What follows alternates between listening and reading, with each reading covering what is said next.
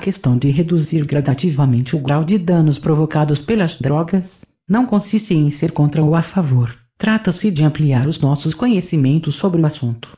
Quando questionamos sobre a primeira substância que usaram, ficou claro que o álcool foi o estupim para a entrada ao mundo das drogas, depois veio a maconha.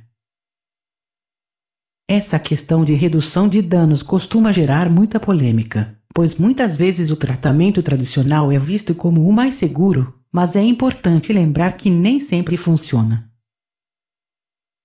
A redução de danos, apesar de não conseguirmos o ideal que seria o dano zero, visa pelo menos diminuir os danos causados pela dependência?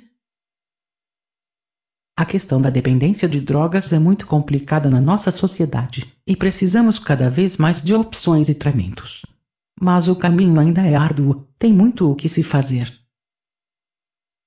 Aspas não desista enquanto você ainda for capaz de fazer um esforço a mais. É nesse algo a mais que está a sua vitória. Aspas. Roberto Chinachique